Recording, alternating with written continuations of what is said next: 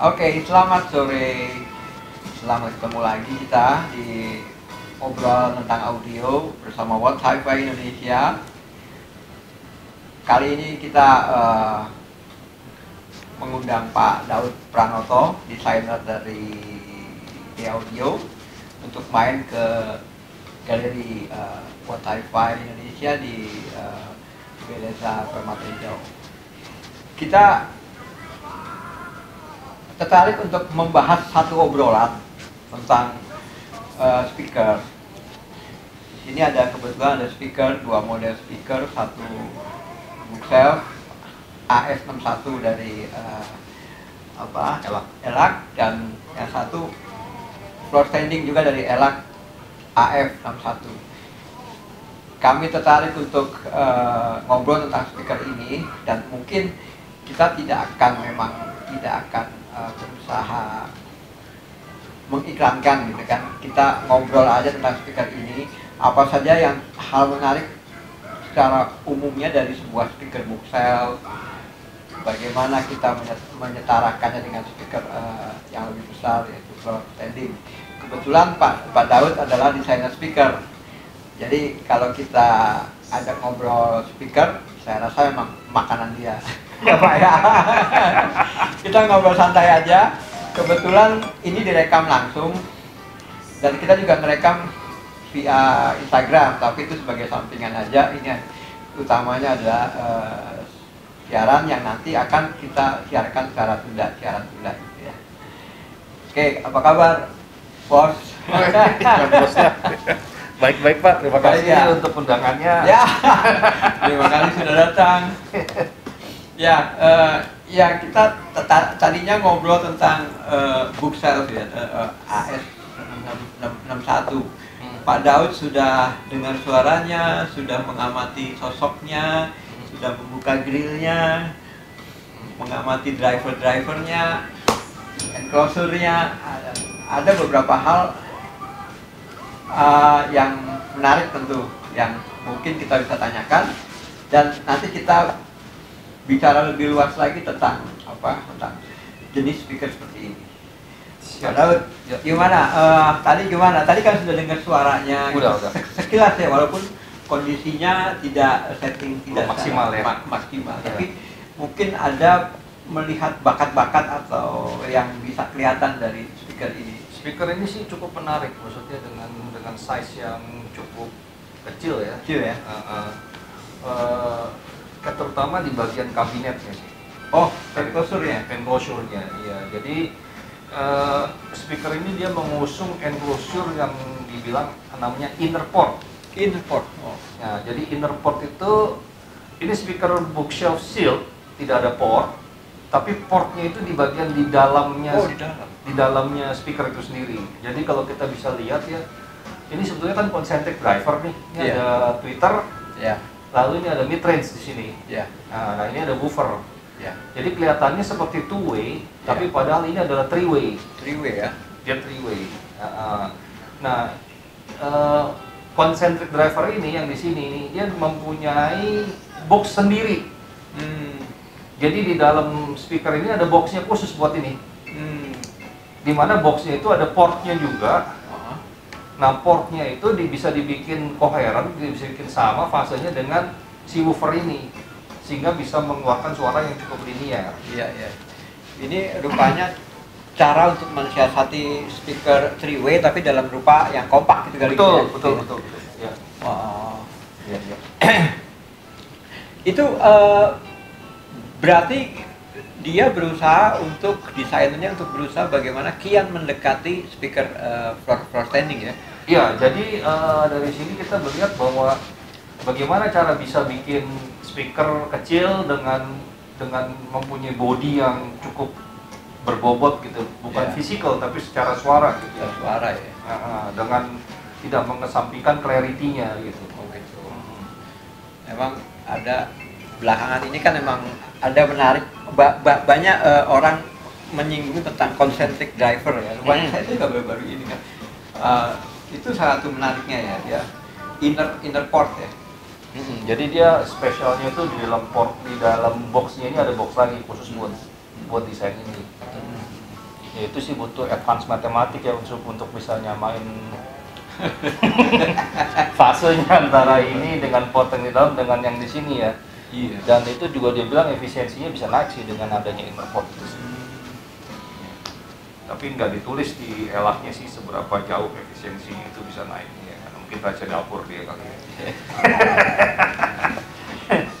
Itu driver eh, kayak dari uh, woofernya terutama ya dan dari apa kayak kayak lu ini sih metal ya kalau saya lihat sih ini dingin ya dingin dan ini cukup rigid. Mungkin eh, aluminium sih akan atau magnesium saya nggak tahu ini drivernya apa tapi ini jelas dia metal.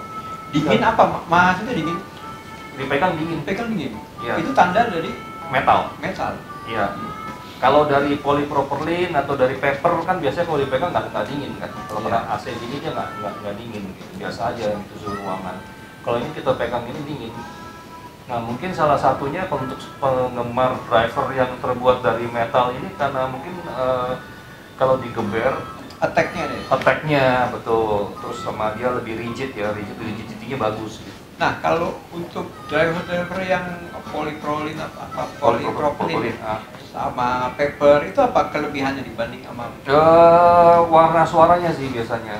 Warna jadi suara. itu udah udah orang udah segmented sendiri sih biasanya. Kalau yang suka paper ya dia akan suka gitu. Dia dia nggak nggak akan lihat driver yang dari metal gitu. Tapi kalau yang mungkin orang yang ngincer rigidity-nya, bassnya supaya bisa attack, bisa bisa solid, ah, dia pasti nggak pilih paper. Ya dia pasti pilihnya driver metal. Kalau paper tuh biasa eh, lebih cenderung ke warm gitu, ke mellow gitu. Bassnya agak Detail. panjang. Ya. Kalau Kalau- detail sih metal juga detail, Pak. Gitu? Iya. kalau dari speakernya D audio desainer eh, karya desain anda itu rata-rata gimana dia pakai Eh, kita mix ya, mix. Jadi ada buffer yang kita pakai dari titanium, ada juga yang dari eh, polypropylene, ya kan. Jadi kita mix tergantung dari karakteristik waktu kita desain itu kita mau arahnya ke mana gitu. oh Iya. tapi setidaknya kalau kita mau beli speaker dari sisi bagaimana kita meninjau bahan pembuat woofernya itu bisa ketahuan kira-kira ya karakternya di gimana Betul, pas ya. responnya di Ya, ini sih responnya cukup cepet sih. Ya, cepet, bassnya cukup tight, which is itu bagus ya, accurate ya, speaker Ya. untuk speaker kecil gini ya. Nah, eh, apa kadang-kala kita kan kalau mau beli pilih bookshelf or, or, uh, floor standing adalah terkait dengan budget dan ruangan gitu ya. Betul. Ya kira. Tapi kalau misalnya kita bisa nggak itu kita eh, memilih sebuah speaker eh, bookshelf ruangan kita besar tapi kita lebih ke ini ke alasan budget itu apa faktor-faktor yang harus diperhatikan apa? Eh, eh, bookshelf kan memang didesain untuk ruangan yang lebih kecil ya dibandingkan Iya. dengan floor stand ya. Biasanya secara general seperti itu sih. Ya. Nah itu mesti balik lagi nanti ke manufacturernya. Hmm. Maksudnya kalau kita punya ruangan misalnya 5 meter kali 8 meter tapi pengen ditaruh bookshelf ya saya saya suggest sih balik lagi ke pembuatnya gitu. Oh. tanya bisa nggak nih kalau saya punya ruangan sebesar ini pakai bookshelf misalnya itu nah misalnya biasanya manufacturer itu udah ada guidance-nya ruangan-ruangan yang ideal optimum berapa. Kalau bookshelf sih mungkin 4 kali 4 atau mu- maksimum mungkin 4 kali 5 meter masih bisa. Ya 4 kali 6 lah ya. ya itu biasanya buat kamar tidur size gitu dia cocok. Ya. Kalaupun dia pengen ruangannya dia gede, dia milih ini setidaknya faktor apa yang di speknya kita harus perhatikan? Seenggak-enggaknya bisa memenuhi Eh, dia punya. kita lihat dari sensitivity-nya pertama jadi eh, sensitivity-nya berapa? Itu itu satu. Kedua maksimum dari wattnya berapa? Itu mesti kita lihat. Jadi misalnya ada speaker yang misalnya maksimumnya cuma 40 watt gitu atau 50 watt. Tapi sensitivity dia tinggi misalnya 110 dB. Hmm. artinya satu watt dia bisa ngeluarin 110 dB kan? Nah itu lebih dari cukup tuh cukup keras gitu. Iya. tapi kebalikannya ada speaker yang misalnya wattnya gede 200 watt.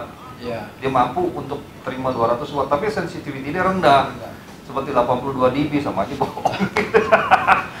Ibarat kalau mesin boros bensin kan? Iya. Tapi maksimal sebuah bookshelf tuh main di berapa sih? Mak, uh, Sensitivitas. bookshelf tergantung pak. Jadi on average itu biasanya kalau bookshelf itu asal di atas 90 dB juga oke. Udah bagus tuh, paling bagus ya. Ya 92, 91, 90. Kalau 86, 88 juga masih bagus, masih oke. Iya. Jangan di bawah 85 deh, Iya. agak susah. Kalau 85 berarti you punya power mesti lebih gede. Iya. Ya terutama untuk pemain tabung ya. Kalau yang main tabung itu saya rekomend sih di atas 90. Hmm. Karena tabung kan pada dasarnya wattnya kan Iya. Kecil. Kan? Ya. Tadi kan sempat baca-baca sedikit profil eh, AS61 ya. Apa yang menarik dari Pak Daud? enclosure-nya unik sih. Koser ini? Iya, yaitu dia bikin inner port yang tadi di dalam Oh, itu. yang tadi. Ah, itu unik sih. Jadi sebetulnya sih eh, nggak banyak Nggak sih. banyak speaker- ya speaker yang didesain seperti itu. Kenapa ya orang pada nggak mau? Karena Eh, susah atau gimana? Mungkin ya di satu sisi teknologinya juga mungkin teknologinya belum belum banyak digunakan gitu ya. Oh. Saya sendiri juga belum pernah pakai sih yang model inner port gitu. Dan kalau misalnya dia dia kan bikin box in the box nih. Jadi dia bikin satu kotak kecil di dalam satu Iya. kotak besar. Nah, itu kita udah sering pakai. Hmm. Tapi di kotak kecilnya itu dikasih port lagi. Nah, itu port untuk menyesuaikan supaya efisiensinya naik dengan dibanding dengan port yang gede. Nah, itu sih cukup sulit sih. Nggak mudah. Iya. Pengen nanya juga. Ada ada trade off-nya nggak dengan pakai ini kan dengan pakai ini? Eh, honestly saya nggak tahu. Jujur ya? saya nggak tahu karena saya belum pernah mendalami yang kayak gitu. Cuman kalau dilihat ya dari dia punya sistem sih unik gitu, ya. nggak nggak nggak umum. Ya pastinya seorang engineer kalau dia desain kayak gitu pasti dia udah mikirin dong ada trade off-nya. Pasti sih udah mikirin sih. Dan mungkin dia lihat trade off-nya mungkin ada, tapi Nggak dilihat nggak signifikan. Kayak advantage-nya yang pasti lebih banyak daripada trade off-nya. Ya, ya, ya. Ya. Itu kalau boleh sharing pada waktu pada ngedesain speaker yang bookshelf apa namanya si yang merah Amora. Amora Ya. itu itu apa sih konsep eh, nanti dinikmatinya seperti apa orang seperti apa di ruangan seperti apa di, Am- dikawinin sama ampli kayak apa gitu Amora. Amora itu unik sih. Jadi eh, gimana caranya supaya kita bikin speaker bookshelf meskipun Amora bentuknya tidak terlalu kecil ya. Maksudnya kan boleh dibilang big bookshelf bongsor gitu ya. Iya. Eh, tujuannya adalah ini masih kategori bookshelf loh, tapi suaranya floor standing. Itu sih itu yang yang waktu itu kepikiran pengen dimaksimasin di situ dengan kategori bookshelf, tapi kita bisa mendapatkan bass yang cukup rendah, yang di mana tidak semua floor standing pun bisa mengeluarkan itu gitu. Iya. Nah itu yang eh, konsepnya seperti